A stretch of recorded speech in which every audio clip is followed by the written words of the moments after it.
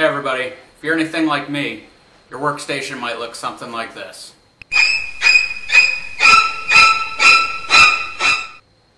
I'm going to show you how to make a router bit and tool holder to organize your workstation. Alright, we're going to get started by tracing out the shapes of the tools that we want to cut out.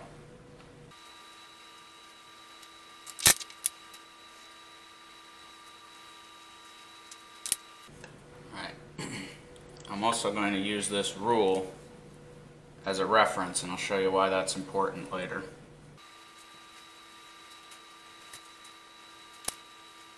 Alright, now that we have our images, let's go ahead and open up Carbide Create.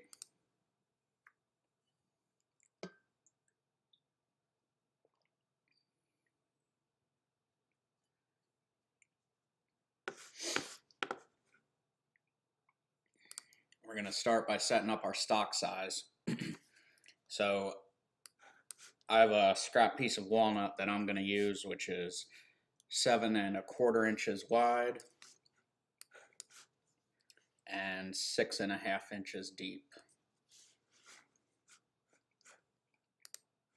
It's already been milled down to uh, about three quarters of an inch. Retract height, we'll change that to five.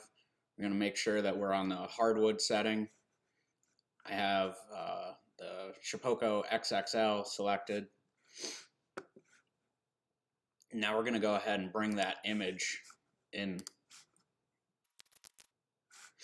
All right, now you can see when we import that image, it's really big. So we're going to adjust the scale to bring it down to the proper size. Also real quick going to change this spacing of the grid to a quarter of an inch. So I'm not sure exactly what I have to adjust the scale to. Let's try uh, 0.5 and see what it does. All right, and that's still really big. So let's try 0.1.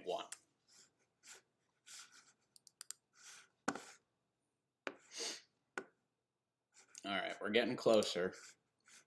So at this point, let's go ahead and we're going to make a rectangle that's 5 by 3 quarters of an inch.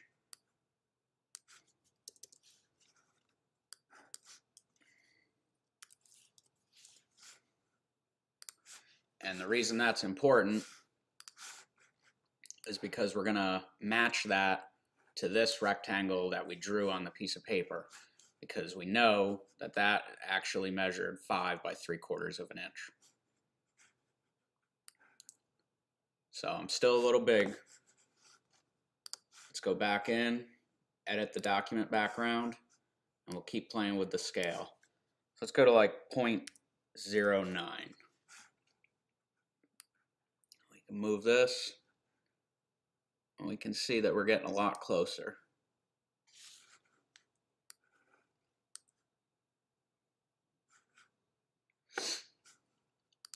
Let's try 0.091. All right, we're getting even closer. I think this is going to do it, 0.092. Yeah, that's pretty much right on. We don't have to be absolutely perfect because we're going to, when we do cut these out, we're going to put a little border around them. But it's best to get it as close as you can. And you're just going to have to uh, play around with that.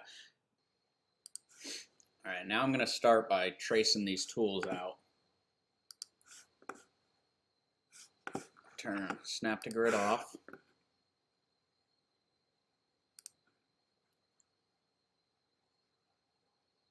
And again, this doesn't have to be absolutely perfect, but we're just going to get try to get it as close as possible.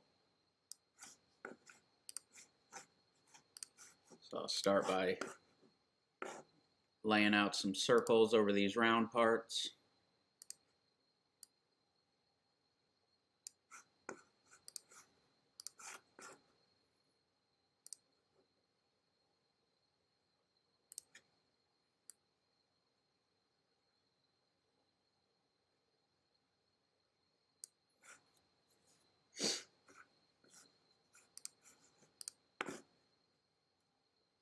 Now we're just going to use lines to connect everything.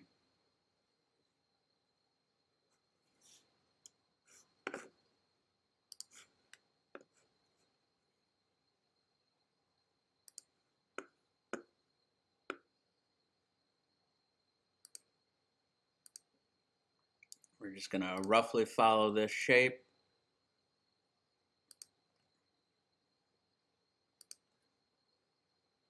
Every time we click, we add a node.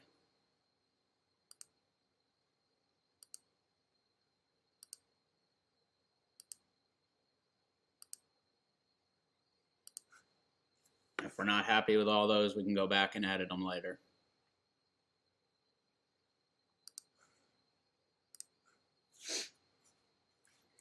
All right, now that I have these two shapes, I'm just going to combine them. So I've got this one shape selected.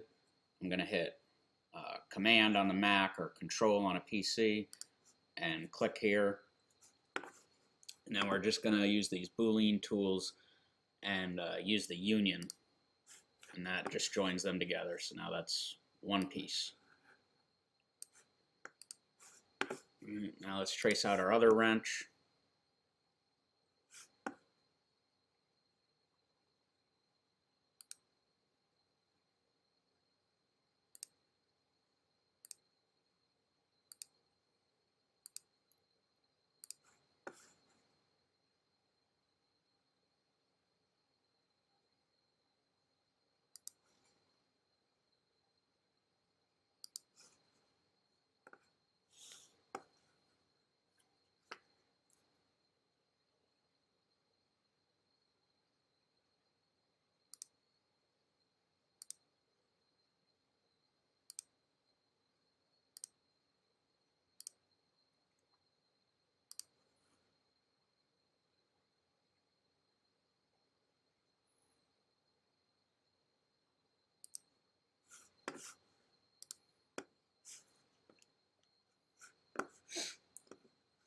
Right, now again, we're going to combine those. So I've got this selected.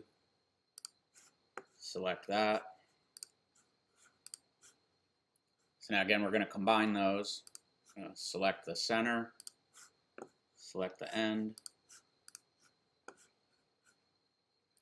All right, so now this here is showing up pink, which means that it isn't closed. So we're just going to select it, go to down here in edit mode, and this is join. And when we click that, it makes that all one piece. So now when I click it, it shows up uh, orange. Now we'll be able to join it to the ends. And we're going to use the union again.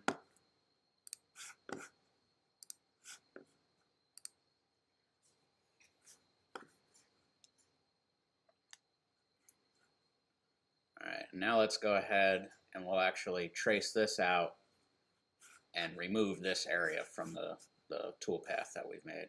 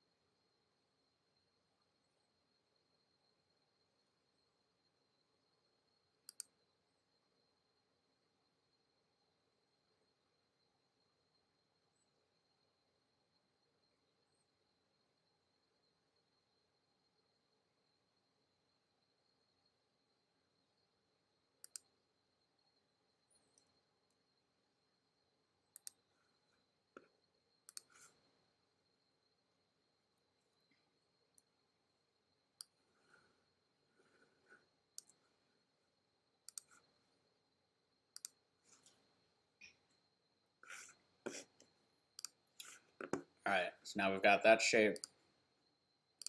We're going to select the outline of the whole tool. Again, we'll click either Command or Control. And when you're selecting something else, you'll see that it shows up as a little dotted line.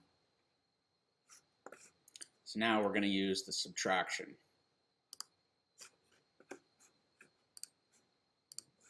Now we've got another toolpath that we can move around.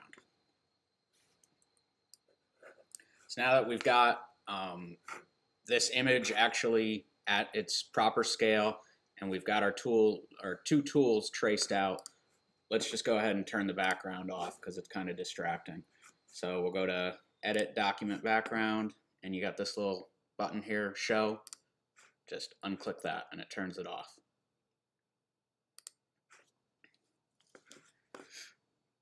All right, now we can move these off to the side.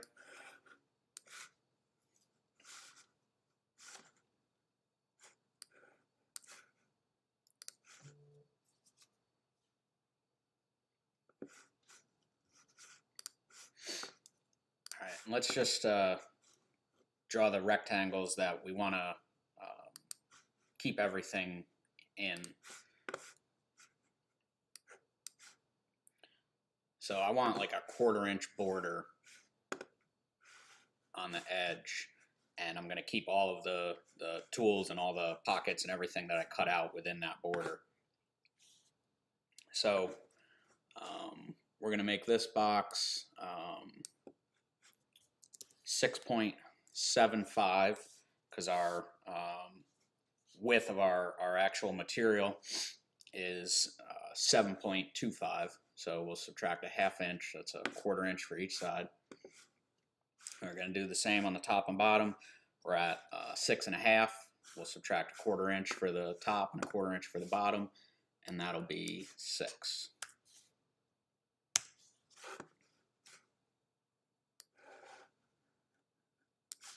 All right, I'm going to turn snap to grid on, and I'm just going to snap it right to that corner there. So that's quarter inch border all the way around.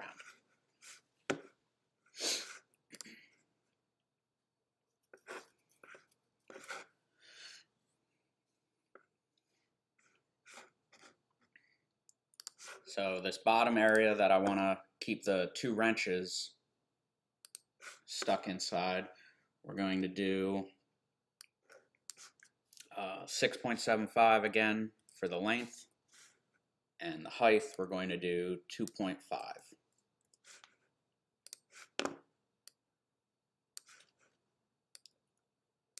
Snap that to there.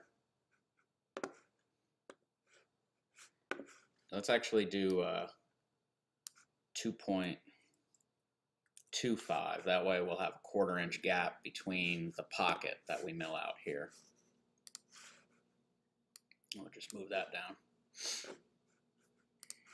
Now I'm going to make another rectangle. And again, that'll be 6.75.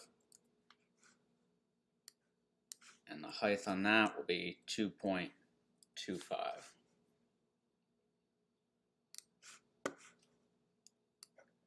And I'm going to snap that to here, so that's going to give us a half inch gap, or a quarter inch gap right here.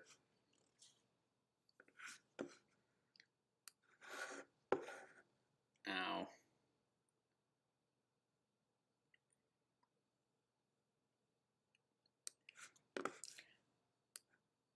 when I move one of these, I can see that it's not perfectly square. And it doesn't really matter if it is, but I think it'll look a little better if it is. So I'm just going to rotate that. It doesn't need to be rotated much. So let's try rotating it just five degrees and see what happens. And that moved it a lot. So now we're going to have to move it back. So we'll move it back five, and let's see what would have happened if we just moved it one degree. And that's pretty good. It's good enough for me. Now I'll take this wrench here. I'd kind of like this line to be parallel to this line. So let's also try just moving that one degree, rotating at one degree, I should say. And that's better, but it could be even better. Let's try another one degree. Okay, and that looks just about perfect.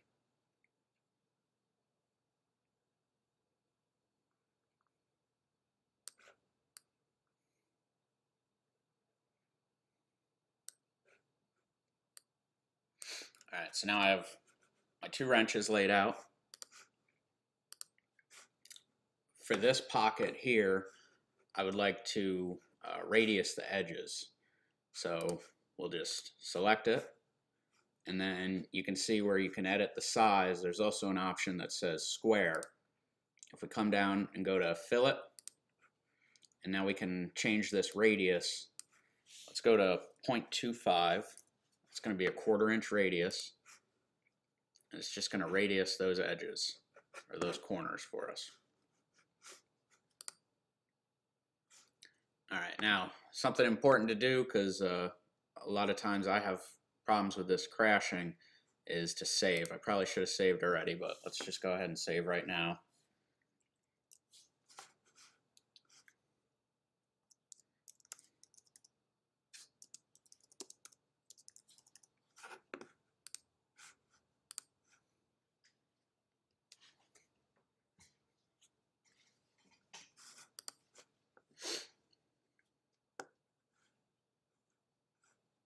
All right, now we just need to lay out the grid for our actual uh, router bits.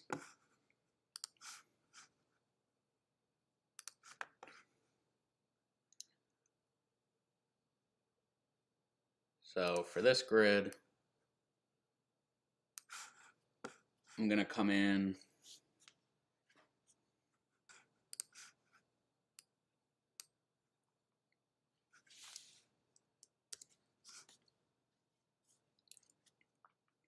All right, now we're going to go ahead and lay out a grid for where all of our holes are going to be for our router bits.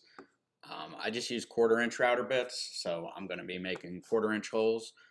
Um, if you have eighth inch, you can just scale yours accordingly. So we'll select the rectangle tool. We're going to change this to 6.75 and we'll leave the height at 1 and see how that looks.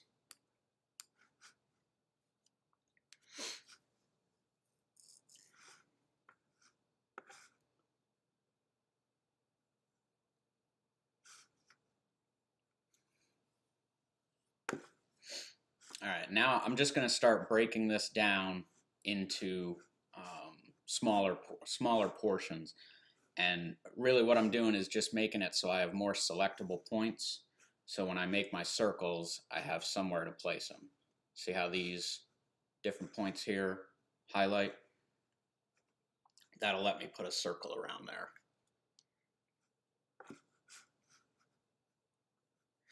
So we're going to start by cutting this box in half, which is 6.75.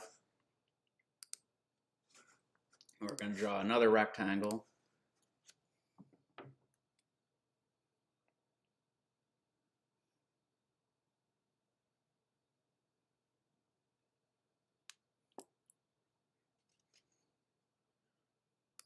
which is going to be approximately 3.375.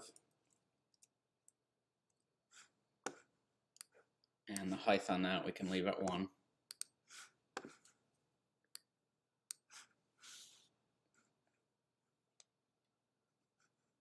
And we're going to split that in half one more time.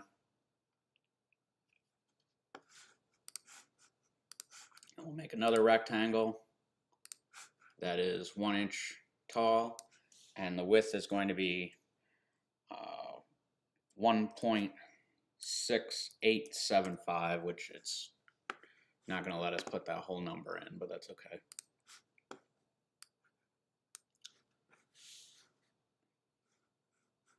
All right, now let's cut that in half again.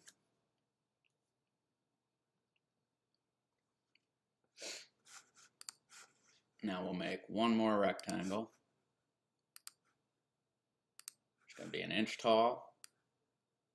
And the width is going to be 0.84375, which again, it's going to round.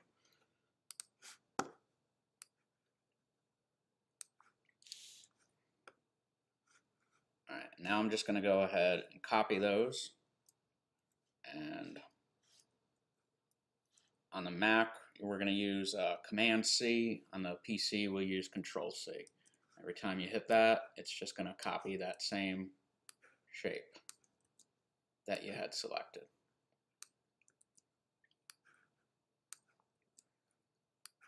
And I'm just moving them down so they're all connected together.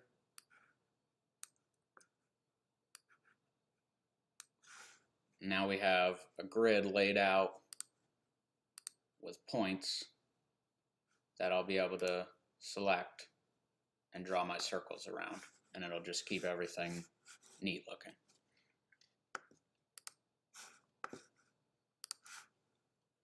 Now we can now we can start doing our circles. We're just going to come up to the circle tool, select this center. All right, now something important to keep in mind here is that we're working in uh, radius, not diameter. So if we put in uh, 0.25, like the diameter of the bit, it's actually going to cut a half inch hole. So we're going to have to make it half the size, which half of 0.25 is uh, 0.125. But we need to make it just a hair bigger than that so we've got room for our bit to fit in and cut and then also our uh, bits that we're actually going to put in there just to, to fit easily. So we're going to make it uh, 0.126.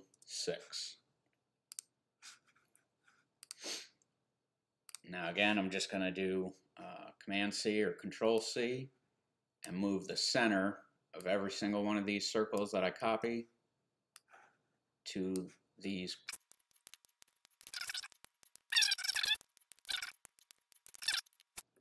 Now just to kind of clean this up, let's go ahead and we'll select this outside border and delete it. We'll select these borders here and delete them. And then we'll select all of these boxes and also delete them. And we can delete our reference too.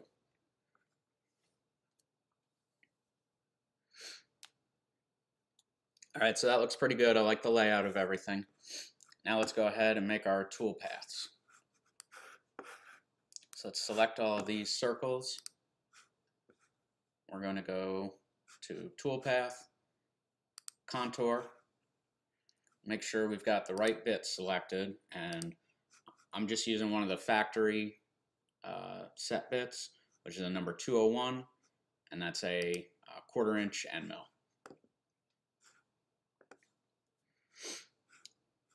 For the depth on these, I want them to be a half inch. And we can change that to pocket.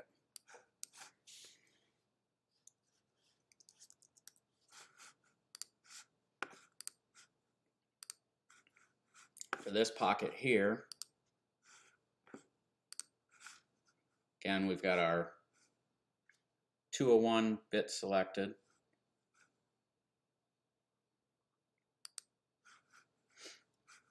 I'm actually going to change our step over here, which is going to make these lines closer together and just give us a smoother finish in the bottom. So let's change that from 0.113 to 0.08. We'll, again, we'll leave our uh, feed rate alone. And I want this to be 0.4.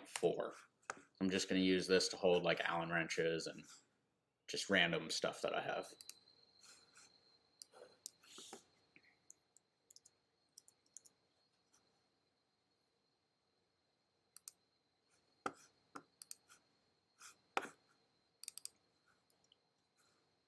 Let's go back and check this. Sometimes when I change my step over, it doesn't change, and it actually didn't. So again, we'll change that to 0.08. And now we can see that it changed. Now we just need to do the wrenches. For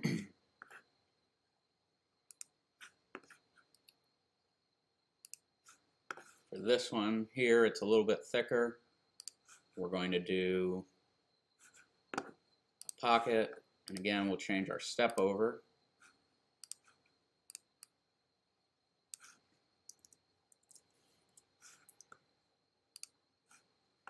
And again, you can see that didn't change, so we'll go in and do it again. I'm not sure why that happens.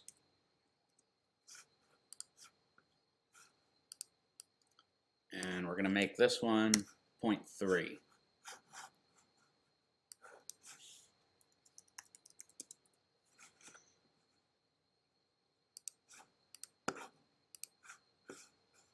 And we'll do that one more time. On this one, we're going to do 0.2 because it's not as thick as the other wrench.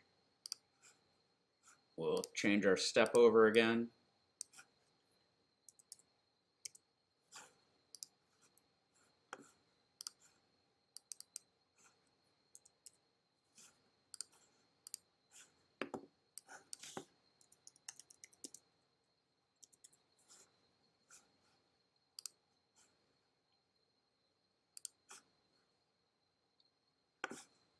All right, let's save that again.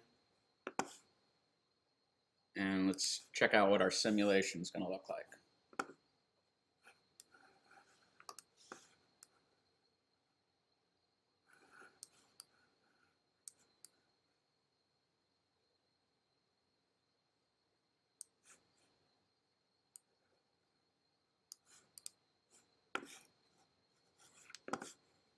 There's one thing that we forgot to do we forgot that we wanted to put a little border around these tools here.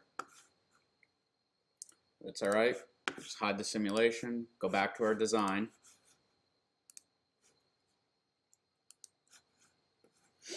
Select these two. And then we're going to select this tool here, which is an offset path. Change it to the outside. And let's go uh, point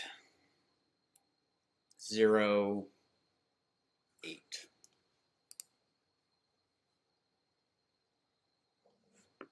All right, that's a little more than I want. Let's do that again. Let's just go 0.05. All right, that looks pretty good. So now we're actually going to delete these inside toolpaths.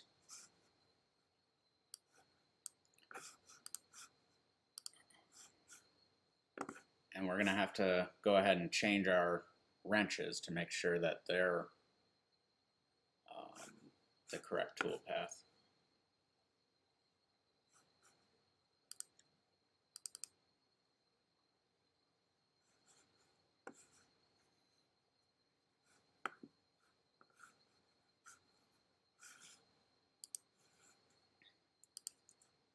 Go ahead and delete these. Let's go ahead and delete the wrench toolpaths. And we'll just do those over again. So again, we're going to do contour, pocket, first wrench, point two. We'll just go in and change that step over.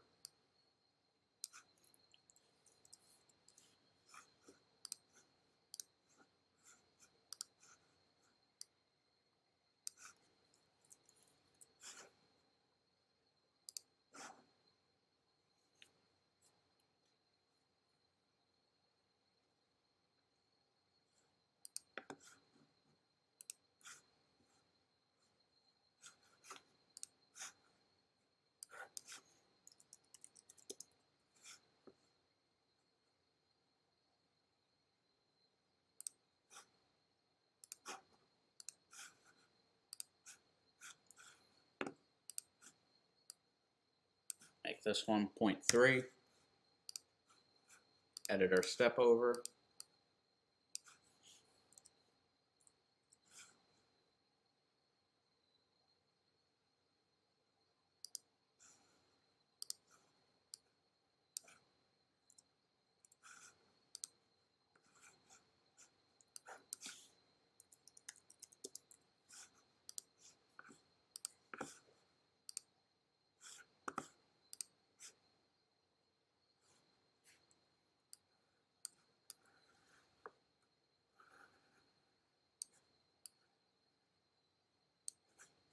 All right, that looks good. So we're only using uh, one tool, so we can just go ahead and save our G code.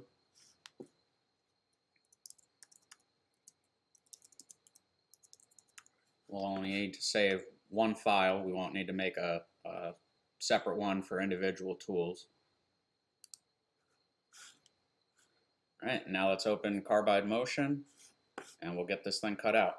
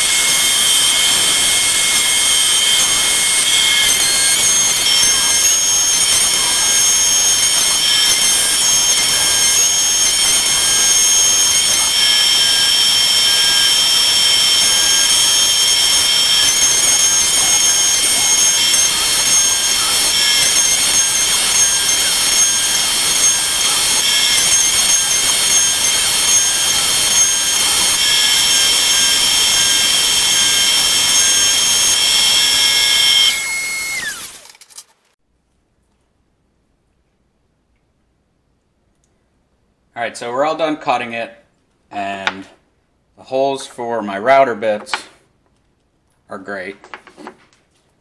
But one thing that didn't come out so great was the holes that I cut out for these wrenches.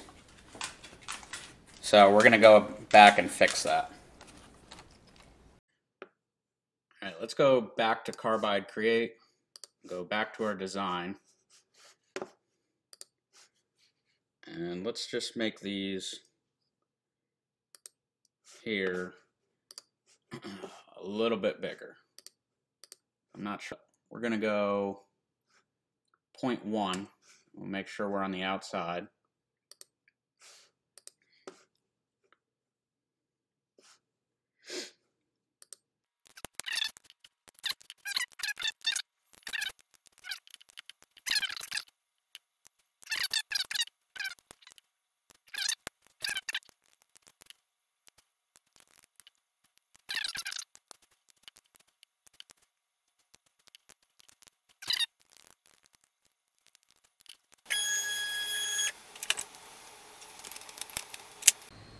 Is where these little stop collars come in handy Because now I don't have to uh, reset my Z height.